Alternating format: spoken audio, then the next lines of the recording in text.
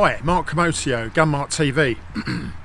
and we got here a classic air rifle and it's sort of it's a real product of its time.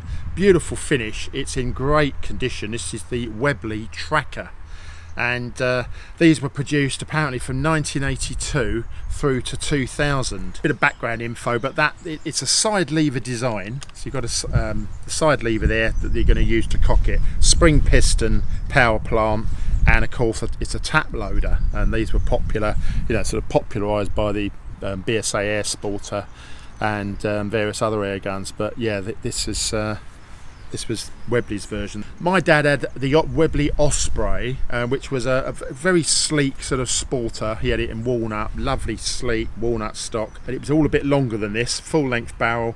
Uh, but it was a weedy rifle. It only ever did about nine foot pound, I think. And obviously, I had the Vulcan as my first one. But Webley were known for, firstly, very good finish. Chemical bluing was a speciality they etched the name into the cylinder so you've got Webley tracker here it's actually cut into the cylinder and um, this one's missing its open sights it would have come that's a, that's not as standard that is like an adapter there but it would have come with open sights that's all that's missing with this I remember they produced for a while little metal nameplates with Webley that you could buy as a, a little a retrofit to, to, blank off that area. This one is um, this is kindly lent from Range and Country, which is a big dealer in um, Sleaford, and this is this is I say second hand. This is going for um, 295 pounds at the moment. Um, if you're a collector of air guns, then yeah, it's it's a very desirable air gun when they brought this out, they brought out the Tracker, which is, as you can see, really short,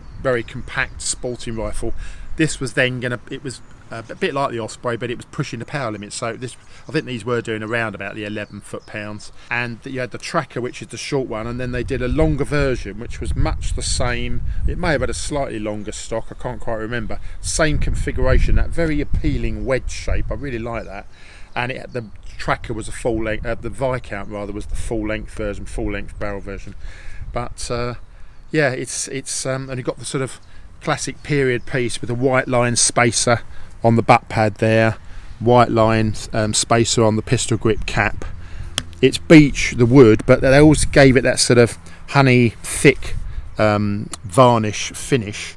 But it's just very appealing and you can see the you know the quality of it and the robustness and the, um, the it, it, looks well made. This is from the, the sort of Webley's Birmingham days.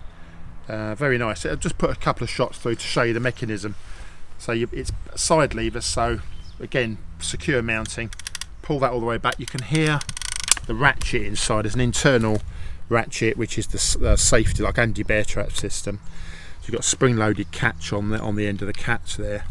Push that back lock that up and then you can lift the tap up and drop your pellet in. Now I mean tap loaders you don't tend to get them now because the system is flawed really. You can see that dropped all the way through but if sometimes you it would if you had a, um, a tap out of that was sort of misaligned it would slightly shear off some of the pellet.